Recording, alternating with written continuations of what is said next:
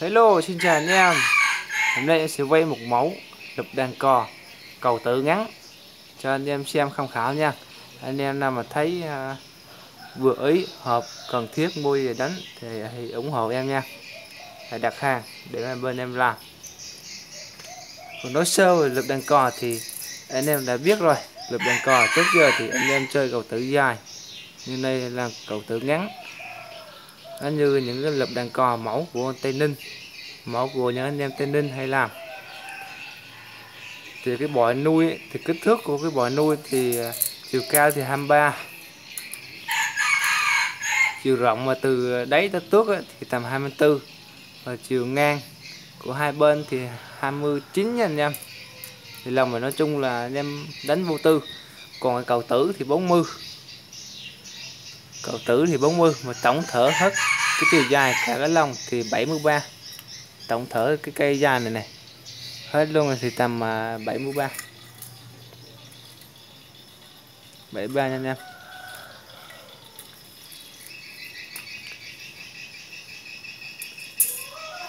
Rồi thì quay à, cho anh em thấy rõ hơn.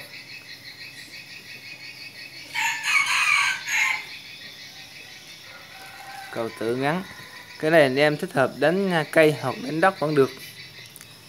Nhưng mà đánh đất ấy, thì à, anh em à, đặt chiên là đánh đất. Đánh đất thì em sẽ hà cái cầu tử này nó sẽ thấp xuống. Và khi con cu bổi nó đi nó gáy nó gù thì nó sẽ nhảy lên. Còn đây này là em làm cho chiên đánh cây. Hợp lý hơn. Rồi em sẽ test cho anh em xem cái độ nhảy cũng như cái độ hiệu quả của lục đàn còm có con dây khi con cu bỏ nhảy vào thì nó sẽ cút chân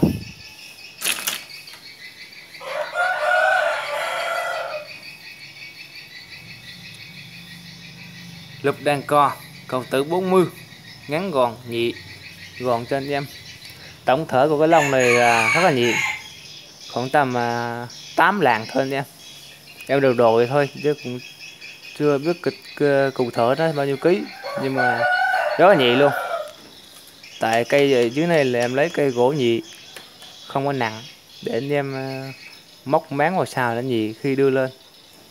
Đưa lên ờ, cây cờ móc thì nó sẽ nhị hơn. Còn cầu tử thì cầu tử rừng, cây rừng thiên nhiên. Rồi, em sẽ dừng clip tại đây. Anh em nào mà thấy hợp mắt thì hãy liên hệ đặt hàng. Cảm ơn anh em đã xem clip.